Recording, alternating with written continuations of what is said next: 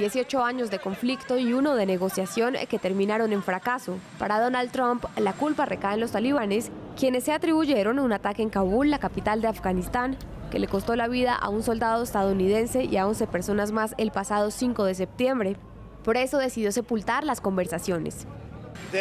Están muertas. En lo que a mí respecta, están muertas. Pensaron que tenían que matar gente para ponerse en una posición para negociar. Cuando hicieron eso, mataron a 12 personas. Uno resultó ser un gran soldado estadounidense, un maravilloso joven de Puerto Rico. Su familia es de Puerto Rico y no puedes hacer eso. No puedes hacer eso conmigo. Entonces, están muertas por lo que a mí respecta.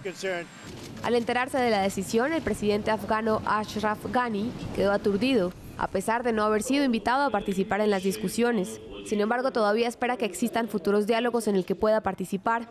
Ghani ha indicado que está listo para reunirse con los negociadores talibanes bajo ciertas condiciones.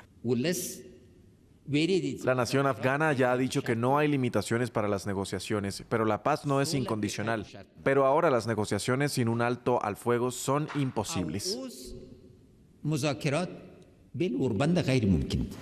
La reunión de Camp David que convocó Trump con los talibanes habría sido tan histórica como controvertida a solo dos días del aniversario de los ataques del 11 de septiembre de 2001, ataques que desencadenaron la invasión estadounidense a Afganistán y casi dos décadas de conflicto ininterrumpido.